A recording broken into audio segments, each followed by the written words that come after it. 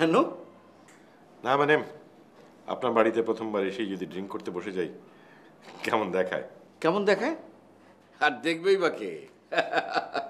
তারপরও প্রথমবার এসে যদি ড্রাঙ্ক হয়ে যাই কি বলবে তারা? স্যার আমাদের বাড়িতে আমার স্ত্রী ছাড়া আর কেউ নেই। আর উনি যে কোনো কিছুই মনে করবেন না এ বিষয়ে আমি হান্ড্রেড পার্সেন্ট গ্যারান্টি দিচ্ছি আপনাকে হ্যাঁ? কিন্তু স্যার আপনি খুবই ইনডিসিশনে ভোগেন না? এই যে আমি একদম সফট করে দিলাম। ডিনারের আগে গলাটাকে একটু ভিজিয়ে নিই প্লিজ থ্যাংক ইউ আজকের এই সুন্দর সন্ধ্যাটার জন্য চিয়ার্স ভাবি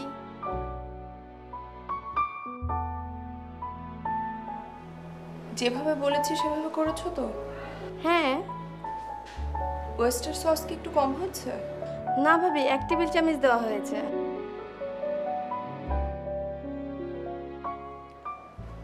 যাও দিয়ে আসো।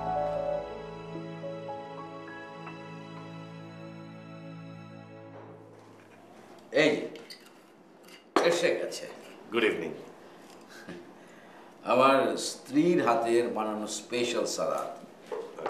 খেয়ে দেখুন ভালো লাগবে খেয়ে দেখুন।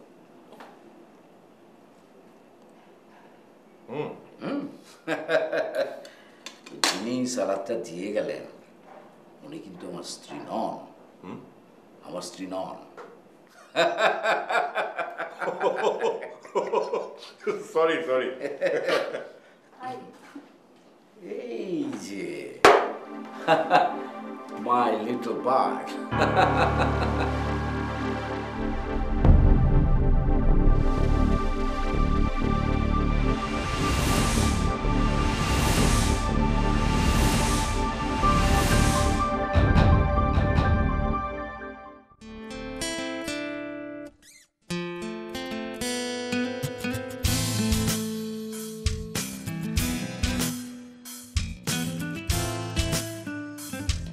农民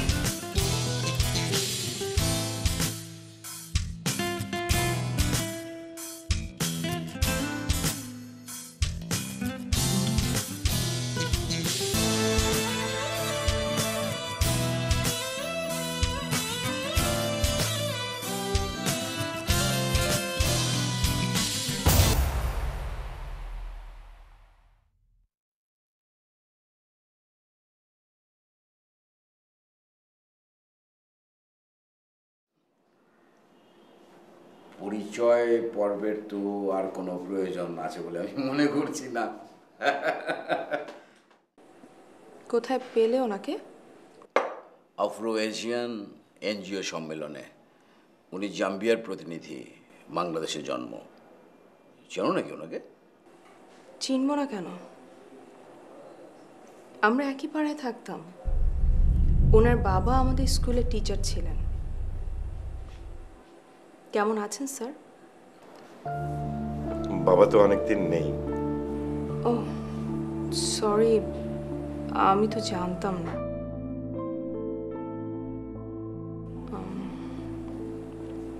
আপনি ভালো আছেন?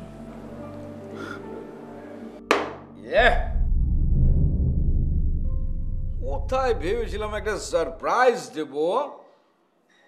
চমকে দেব নন্দিনীকে? কিচ্ছু না। এখন তো দেখছি আপনি ভাই সম্পর্কে পাড়া তো শ্যালক হয়ে গেলেন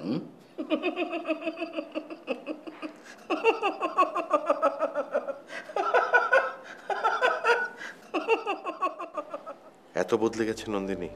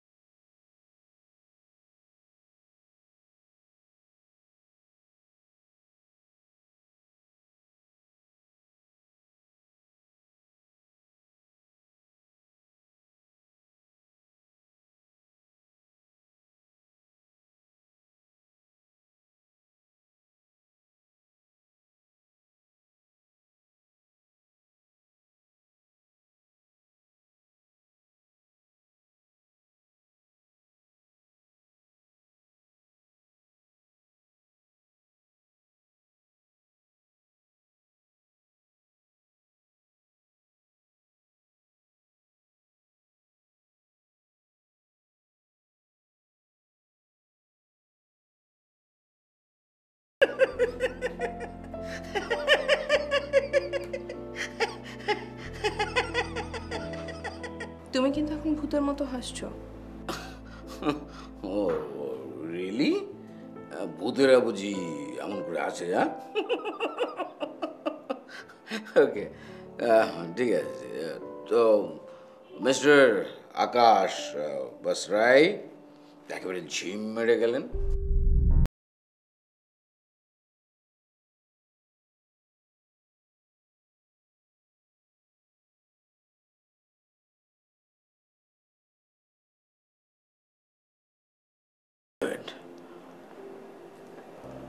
বার্ড গ্লাসটা খালি করো সেই একটা নিয়ে এতক্ষণ ধরে বসে আছো। আমার মনে হয় এখন আমরা ডিনারটা সেরে ফেলি। চলো। তুমি কি ভেবেছো আমি মাতাল হয়ে গেছি? নট অ্যাট অল পাঁচ বছর ধরে তুমি আমাকে চেনো শিওর পাঁচ বছর।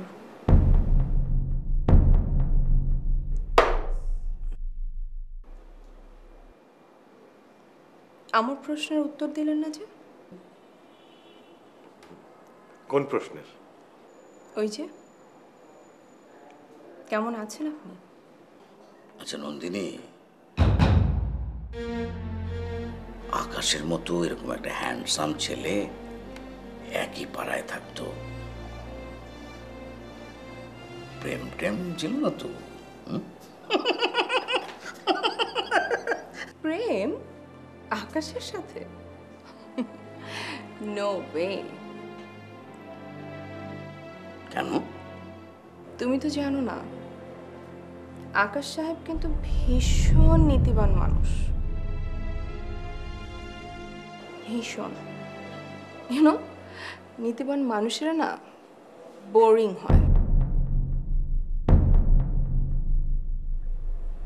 প্রেম করার জন্য লাগে রোম্যান্টিক মন। সাহস।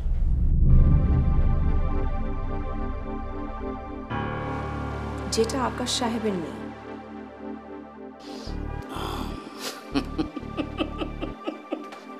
সরি সরি আকাশ ভাই। আপনার জন্য খুব দুঃখ লাগছে। নন্দিনীর মতো এমন একজন তুখোর সুন্দরী। আপনাকে বাতিল করে দিল। এই দুঃখে। চলুন আরেকটা হয়ে যাক। Cheers!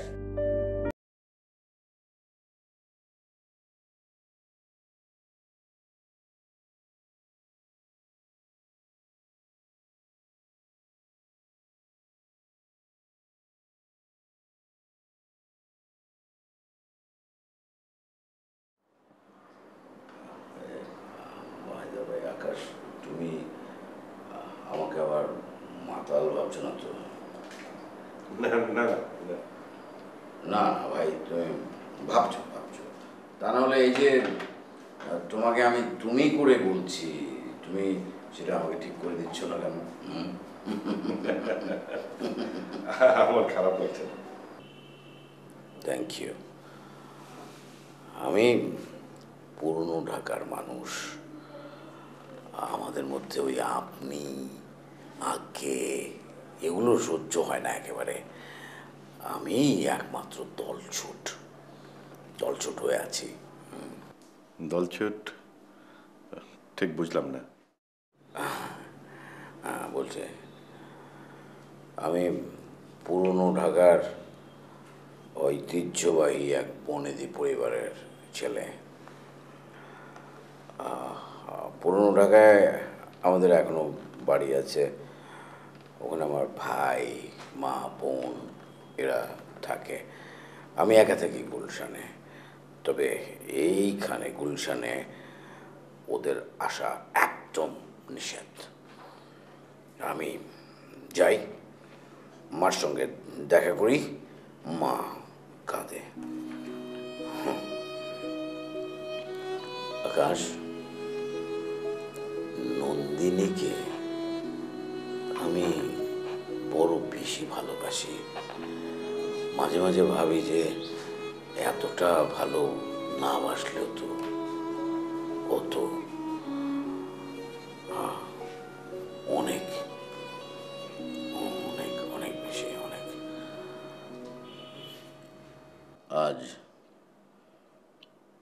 বছর ধরে আমরা নিঃসন্তান।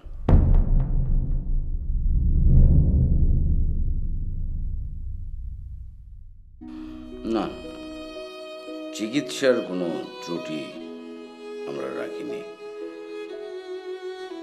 তখন আমরা মা, ভাই, বোন ওদের সঙ্গে ওই বাড়িতেই থাকতাম। আমি বুঝতে পারতাম যে বিষয়টার জন্য ওরা নন্দিনীকে দায়ী করত। কিন্তু নন্দিনী কোনো কিছুই বলতো না, মন খারাপ করতো না, একটু কাঁদতো না। সবচেয়ে আশ্চর্যের বিষয় কি জানো আকাশ? সব কিছুর মূলে আমি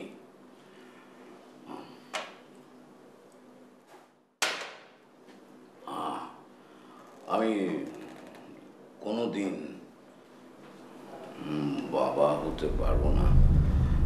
এই কথাটা শুধু আমি আর নন্দিনী দুজন জানি।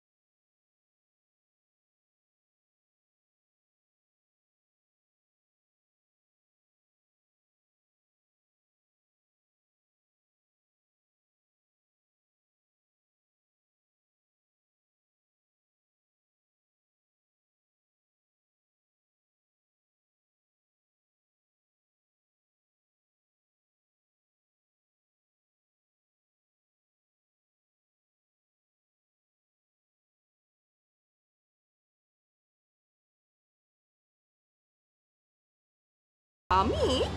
কোথায়? মর্নিং ওয়াকে খ্যাপাচ্ছেন বুঝি? তোমাকে দেখে তো মনে হয় জিম টিম করো। মর্নিং ওয়াক ইভিনিং ওয়াক শুনুন শুনুন। ওসব মর্নিং ওয়াক ইভিনিং ওয়াক করার মতো বিলাসী আমি নই। আমি যথেষ্ট পরিশ্রম করি। বাসা সামলাই কাজের লোকের সাথে হাত চালাই। বুঝলাম। নন্দিনী আমরা কিন্তু একসময় তুমি করে বলতাম। তাই নাকি? সরি আমার কিন্তু একদম মনে নেই। আসলে অনেক বছর আগের কথা তো। তবে আমার ধারণা আস্তে আস্তে সব ঠিক হয়ে যাবে। সব ভুলে গেছো? কিছুই মনে পড়ে না? না না। তা হবে কেন? সব ভুলিনি। আমরা যে একসময় রোজ সকালে শিশির ভেজা ঘাসের ওপর খালি পায়ে হাঁটতাম তোমার মনে পড়ে? আচ্ছা এত ছেলে মানুষ ছিলাম কেন বলেন তো? আমার তো মনে হয়ে হাসি পাচ্ছে। আমি আজ আবার গেস্ট হাউসে ফিরে যেতে চাচ্ছি। আমি এ ব্যাপারে কিচ্ছু জানি না স্যার। আপনি নাসেরের গেস্ট সেটা আপনি নাসেরের সাথে বুঝবেন। চা কফি কিছু খাবেন? না।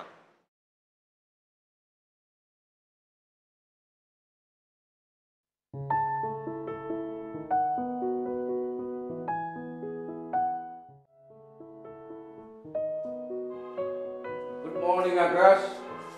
মর্নিং মর্নিং হাঁটাহাঁটি হলো হ্যাঁ হলো সাথে সাথে প্ল্যানও ফিক্স হলো। নন্দিনী নন্দিনী। ভাইয়া ভাবি তো বাগানে ডাকবো? হ্যাঁ ডাকো ডাকো খুব জরুরি ডাকো। আপনাকে খুব এক্সাইটেড মনে হচ্ছে? আমি একটু এক্সাইটেড আছি। সকালে হাঁটতে বেরিয়ে ভাবলাম যাই না তোমার গেস্ট হাউস থেকে একটু ঘুরে আসি। হঠাৎ আমার গেস্ট হাউসে আছে আছে। আরে এসো এসো। বসো। বসো বসো। আরে দারুণ খবর আছে। সকালে হাঁটতে গিয়ে আমি আকাশের গেস্ট হাউসে গিয়েছিলাম।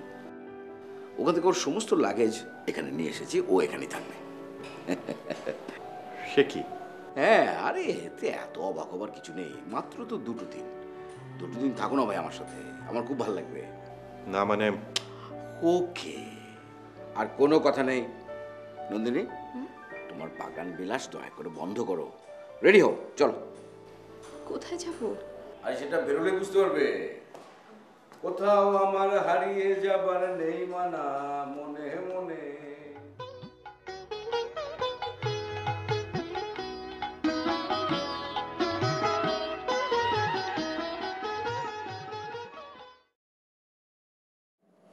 তোমার মনে আছে? আমরা যে কলেজ থেকে পিকনিকে ন্যাশনাল পার্কে গিয়েছিলাম। খুব মনে আছে। শায়লা সাঁতার না জেনে পানিতে নেমে সে কি বেহাল অবস্থা?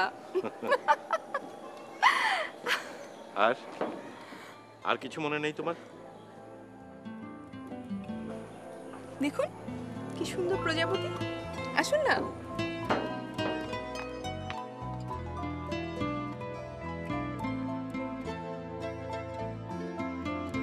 আকাশ আমি জানি। তুমি বারবার আমাকে অতীতে নিয়ে যাওয়ার চেষ্টা করছ। বৃথা চেষ্টা।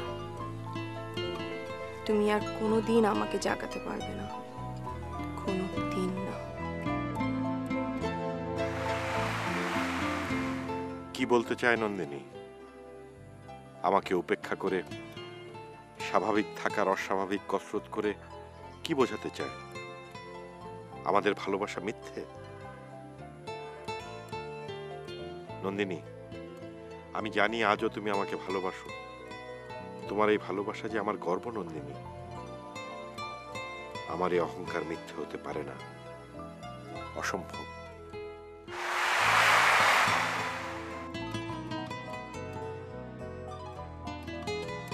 খেলাটা মনে হচ্ছে জমে উঠেছে।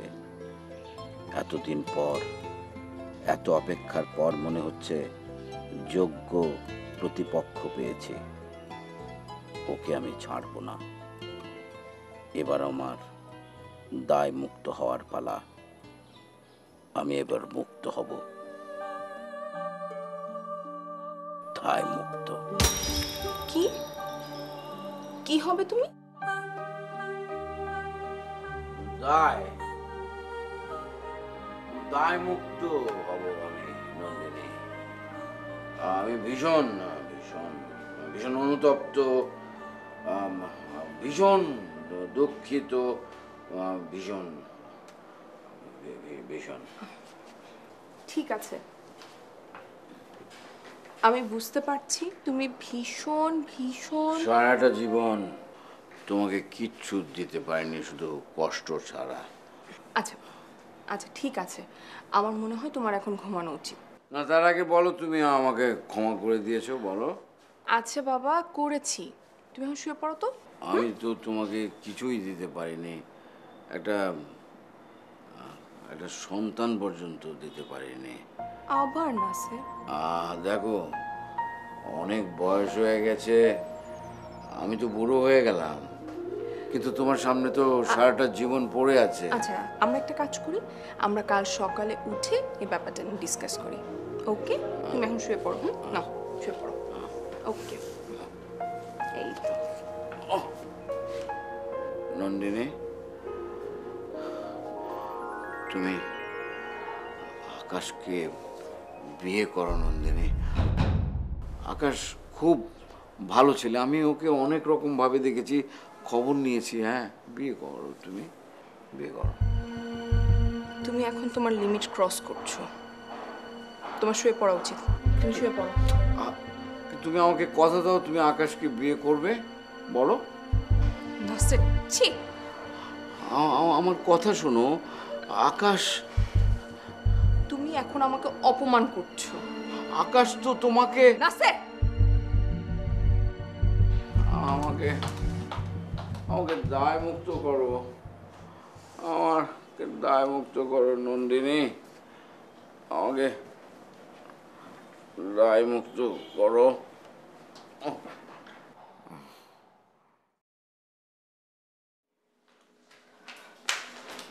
আকাশ নন্দিনী আমি তোমার কাছে চলে এসেছি। চিরদিনের জন্য। কি বলছো তুমি? এত রাতে কি হয়েছে নন্দিনী? নন্দিনী? কি হয়েছে নন্দিনী? নন্দিনী? আকাশ বাবা আমার বিয়ে ঠিক করছেন। কি? কার সাথে? আমি অত কিছু জানি না। পুরান ঢাকার কোন এক বড় লোকের ছেলের সঙ্গে। আমি আমি বড় বাবুকে দিয়ে তোমার কথা বাবাকে বলেছিলাম কিন্তু বাবা রাজি হচ্ছেন না। চাচা তো আমাকে খুব পছন্দ করেন। না আকাশ না। বাবা বাবা কিছুতেই তোমার সঙ্গে আমার বিয়ে দিতে রাজি হচ্ছেন না। আকাশ আকাশ চল। আমরা পালিয়ে যাই। না না না। তা কি করে হয়? পালালে খুব দুর্নাম হবে। তোমার বাবা আমার বাবা খুব কষ্ট পাবেন। লজ্জায় মাথা কাটা যাবে।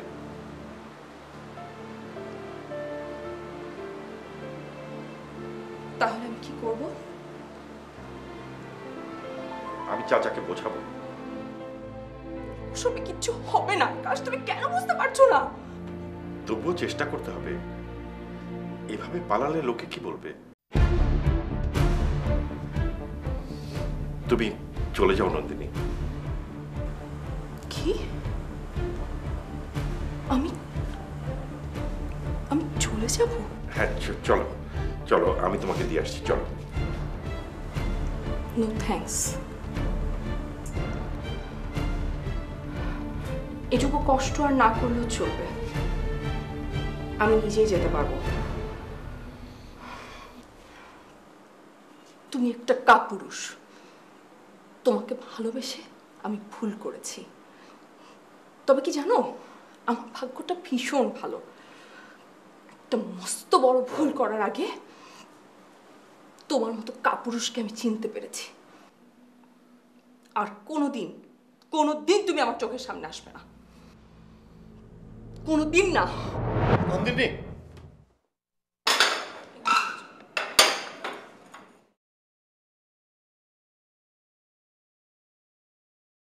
good morning good morning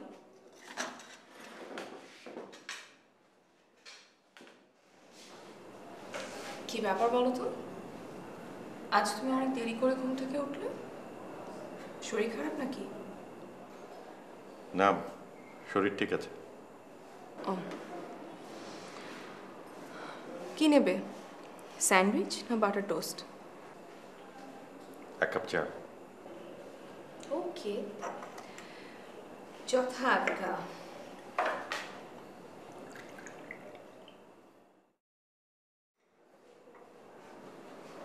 thank you welcome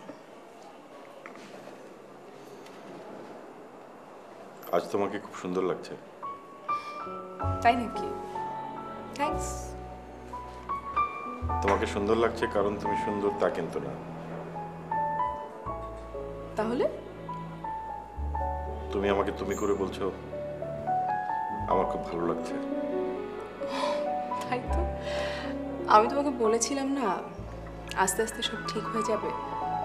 আসলে অনেক দিনের একটা গ্যাপ তো। সেই গ্যাপটাই তো পূরণ করতে পারছি না। নাসের সাহেব কোথায়? ও তো বেরিয়ে গেছে। ভালো কথা একটা জরুরি কাজে নাসের আজকে চিটং গেছে হয়তো রাতে ফিরবে না। তাহলে তো না মানে নন্দিনী। কোনো সমস্যা? আমি আজ তাহলে গেস্ট হাউসে চলে যাব। কেন? না মানে নাসির সাহেব নেই। তুমি আমি এই বাড়িতে। তো কি হয়েছে? নন্দিনী এত স্বাভাবিক থাকার ভান করো না। আশ্চর্য! তোমার সমস্যাটা কি? আমি আজকাল নিজেকে খুব ভয় পাই। কিন্তু আমি ভয় পাই না। আমার নিজের উপর আস্থা আছে। আমি আমাকে বিশ্বাস করি, তুমি চাইলেও আমার কোনো ক্ষতি করতে পারবে না।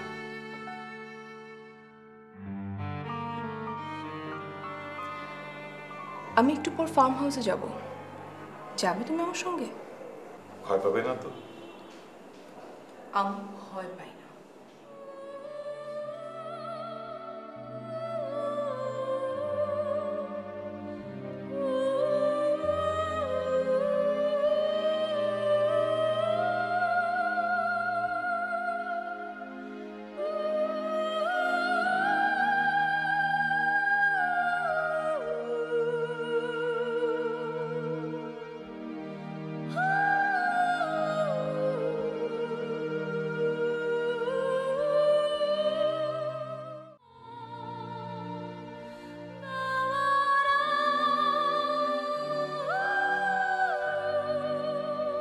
ব্যাপার বলো তো?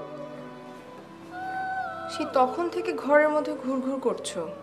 বাইরের রোদ হাওয়া একটু গায়ে লাগাও। তুমি এসব কি করছ? তেমন কিছু না। নতুন জাতের দুটো পাতাবাহার এনেছি।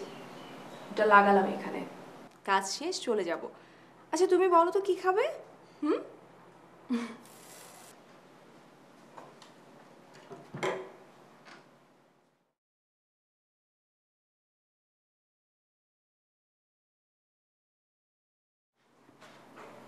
তুমি সত্যি খুব সুন্দর। জানি তো, নাসিম দিনে একশো বার বলে।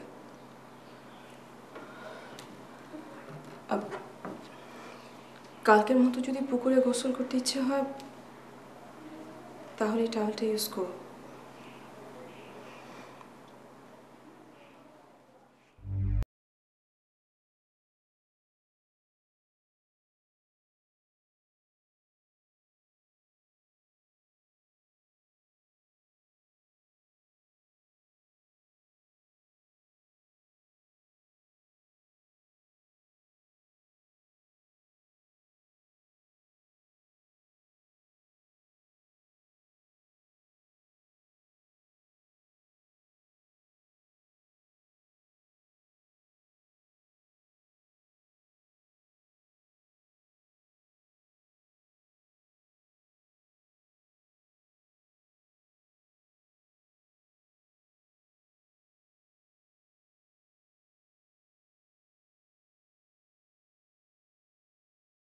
বলছি তুমি অনেক বদলে গেছো। বদলটা তো চিরন্তর আকাশ। সময় বদলায় সাথে সাথে বদলে যায় মানুষও। তা তো দেখছি। আচ্ছা নন্দিনী তুমি আসলে কি প্রমাণ করতে চাচ্ছ বলো তো?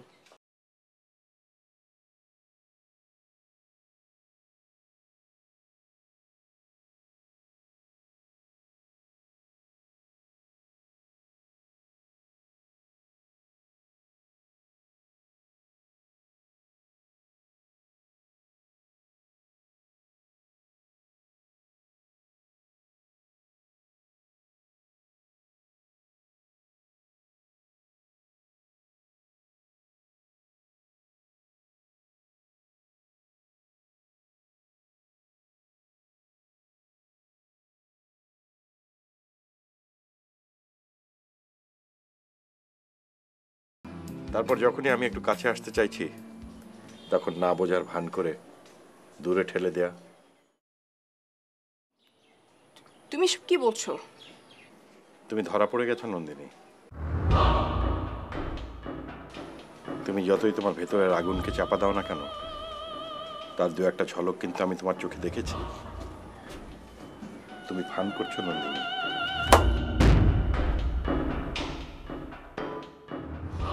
শোনো, একটা জিনিস আমি বুঝলাম। তোমার মতো মেয়েরাই খাজা নাসেরের মতো বড় লোকের বউ হয়। সুখ আর প্রাচুর্যের কাছে নিজের ভালোবাসাকে বিক্রি করে দেয়।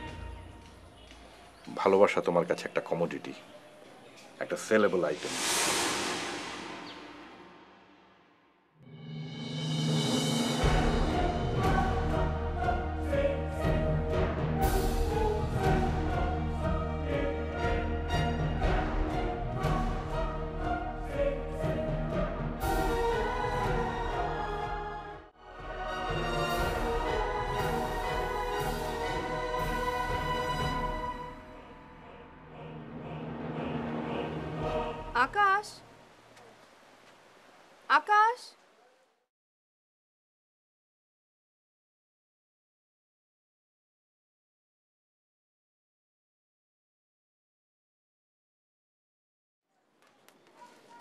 কিছু মনে করো না। যাওয়ার পথে তোমাকে আমি গেস্ট হাউসে ড্রপ করে যাব। হঠাৎ? নাসের ঢাকায় নেই। এই অবস্থায় তুমি আর আমি এক বাড়িতে থাকলে লোকে নানা কথা বলবে। তুমি ভয় পেও না। তোমার লাগেজ আমি গেস্ট হাউসে পাঠিয়ে দেবো। আমার কোনো ভয় নেই। ড্রাইভার সাহেব হঠাৎ সিদ্ধান্ত পরিবর্তনের কারণ কি শুধুমাত্র ওইটাই? আর কি কোনো কারণ থাকতে পারে? আমার তো মনে হচ্ছে এখন তুমি নিজেকেই ভয় পাচ্ছ। হয়তো। সেই ভালো। চলো। সখী আধারে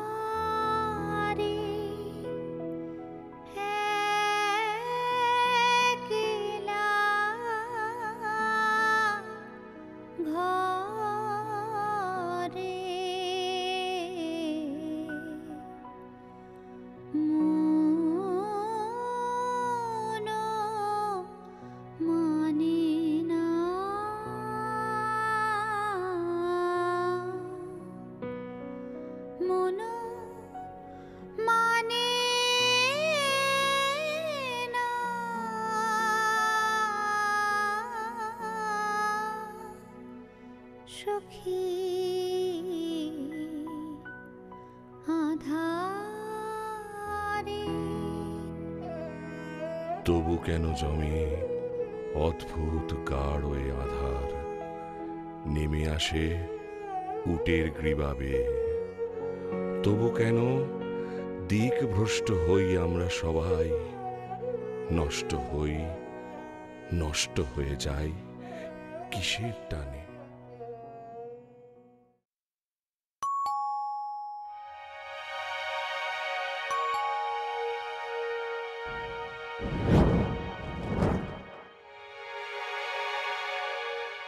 তুমি? ভেতরে যেতে বলবে না? হ্যাঁ নিশ্চয়ই। আসো।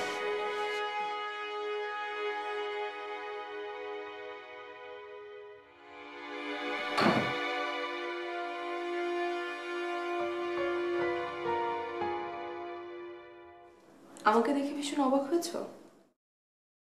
তা একটু হয়েছে।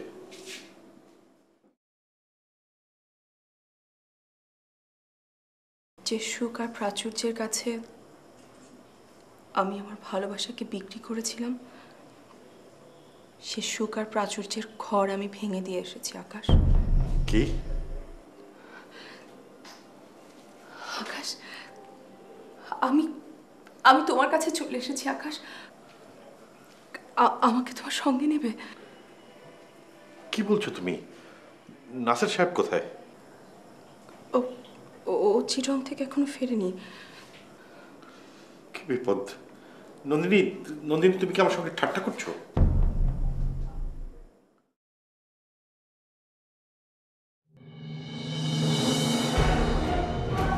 আচ্ছা। আমাকে দেখে কি তোমার তাই মনে হচ্ছে? আকাশ আকাশ পাঁচ বছর পর তুমি আমাকে জাগিয়ে দিয়ে তুমি আমাকে প্রশ্ন করছ যে আমি তোমার সঙ্গে ঠাট্টা করছি নাকি?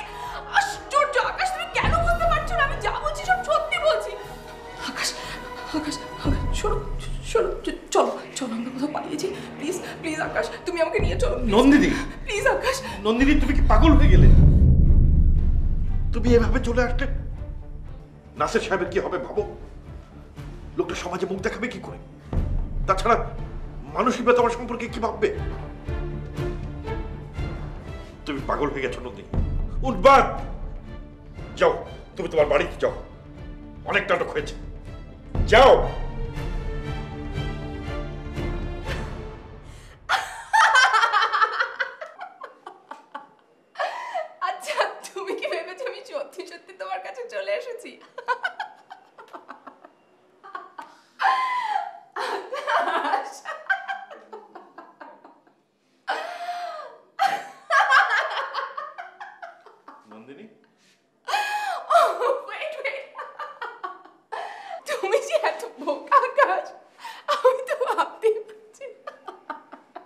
তাহলে যে তুমি বললে?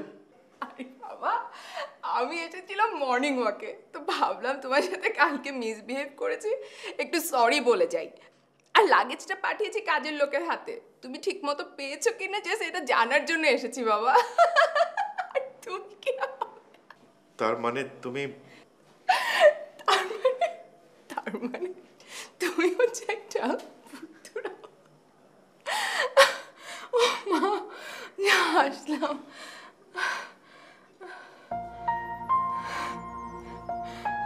ভালো থেকো। আসি।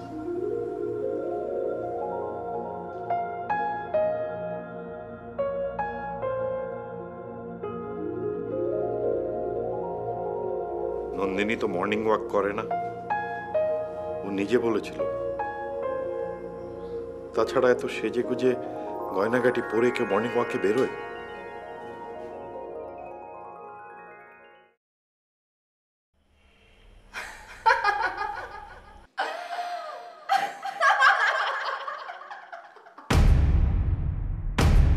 তুমি একটা কাপুরুষ আকাশ। তুমি একটা কাপুরুষ। তুমি একটা কাপুরুষ। তার মানে নন্দিনী কি আমার সঙ্গে চলে যাওয়ার জন্য এসেছিল?